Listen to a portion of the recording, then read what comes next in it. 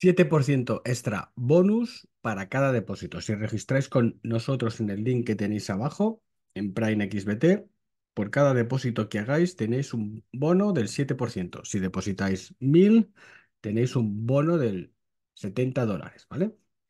Prime XBT, donde hacer futuros sobre el oro, la plata, índices, forex de forma sencilla y, por supuesto, Bitcoin y criptomonedas. Y ahora vamos al vídeo principal. Recordad, 7% bono de depósito por cada depósito que hagáis con nuestro link. Hola a todos y bienvenidos a Educación Financiera Criptomonedas. Bitcoin, oro, ETFs, fondos de pensiones, inversiones institucionales. La cosa está bastante complicada. Fijaos, un directivo de Standard Chartered dice que el nuevo actor, que son los fondos de pensiones, impulsarán a Bitcoin a 200.000. Adopción institucional va a llevar a Bitcoin a subir hasta 200.000, entre 50.000 y 100.000 millones de dólares de entrada en los ETFs de Bitcoin. Poco me parece, ¿vale? Lo que vemos ahora en Estados Unidos es que el mercado 401k, que son los fondos de pensiones, entran en Bitcoin. ¿Por qué? Porque se ha aprobado los ETFs y un, ET y un fondo de pensiones puede comprar ETFs y con lo cual van a destinar un porcentaje. Tienen 7 billones europeos de dólares. ¿vale? ¿Cuánto pueden meter aquí? El 1% son 70 mil millones. ¿vale? El 2% son 140 mil millones. El 3% son 210 mil millones. Y así sucesivamente. Con lo cual, esta gente va a meter pasta. ¿Vale? Dice, eh, alrededor de 50.000 a 100.000 millones entrarán en los ETFs este año. Pues está claro, ¿vale? Está claro. Luego veremos a ver qué pasa, las, las tomas de posiciones, las validaciones, no sé, jubilaciones y demás. Pero de momento aquí tenemos una gran aporte. Aquí fijaos que los ETFs acaparan entradas 300.000 bitcoins en primer año, 500.000 el segundo, 800.000 el tercero. Y donde van a impactar también es en el ETF de Ethereum. Inversión institucional, fondo de pensiones. Inversión institucional general, récord de 2.500 millones en la última semana, ¿vale? Es decir, hay un gráfico que nos medirá la inversión institucional en bitcoins, pues en la última semana 2.450 millones de dólares.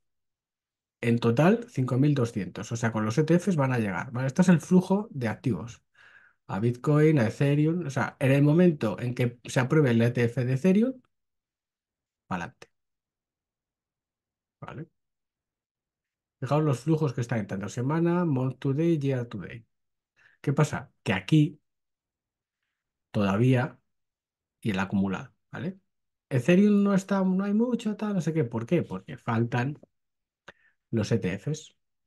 En el resto de activos faltan los ETFs. Luego el ETF es el canalizador de la subida. Si tienes una criptomoneda, se aprueba un ETF sobre tu criptomoneda, estás de enhorabuena.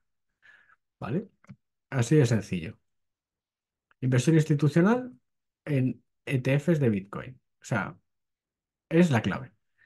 Y aquí tenemos que uno de ellos se dispara al 2000%, ¿vale? ¿Por qué? Por la guerra de, tarifas. Van Eck reduce su tarifa y se mueve una pasta ahí. ¿Qué va a pasar? Que Grayscale necesitará hacer un ajuste de tarifas si quiere sobrevivir. Hall se está volviendo loco.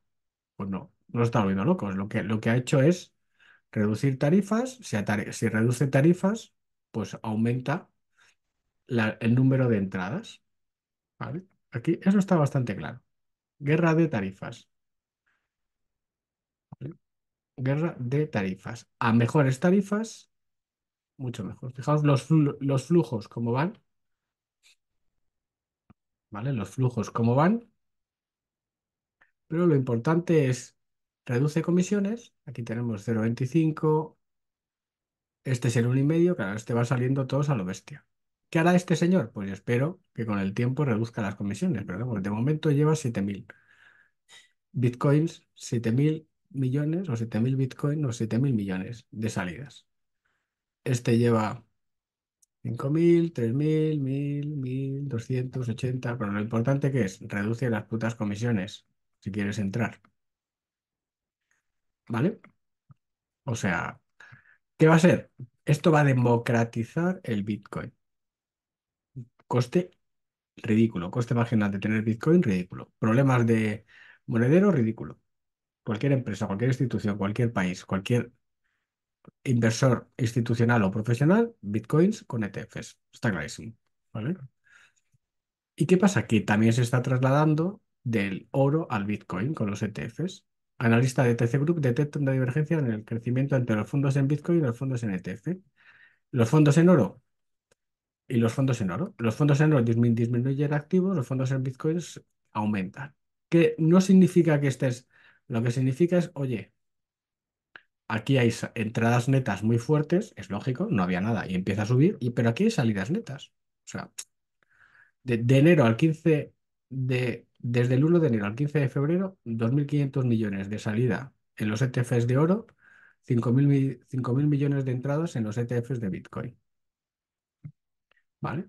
Y que lógicamente la, la demanda de los ETFs impulsa el precio. ¿Cuál puede ser el problema? Pues empezaremos, si hay que pagar impuestos, seguramente haya venta de ETF de Bitcoin, por ejemplo. Entonces, esos días que haya que pagar impuestos y, la gente tenga mucha plusvalía, pues seguramente hay una salida de pasta de los ETFs. ¿Por qué? Porque la gente necesitará dinero. Pero, fijaos, ya hay efecto sustitución. O sea, la entrada de los inversores institucionales está produciendo el efecto sustitución del, del oro por el Bitcoin. Así de claro. O sea, en 15 años, este es el año 16 de Bitcoin, hemos pasado de los ciberfrikis a los inversores institucionales, fondos de, de pensiones que cambian oro por Bitcoin. Qué rapidez de cambio financiero. El cambio financiero más importante de la historia en menos tiempo. Un abrazo y hasta siempre. Si te haces miembro del canal, ¿qué beneficios tienes? Un curso gratuito cada mes que seas miembro del canal. Hay ocho cursos, pues en ocho meses tienes los ocho cursos y los tendrás siempre mientras seas miembro del canal. Además, tienes vídeos exclusivos para miembros con nuestra selección de proyectos por 10, por 25, por 50, por 100 y por 200. Y cada ocho meses que, que seas miembro del canal, tienes derecho a una tutoría de 30, 40 minutos con nosotros, totalmente gratis y cuando tú quieras. Cursos, vídeos exclusivos, esta es nuestra promoción para miembros del canal. Únete a este canal y disfruta de ellas.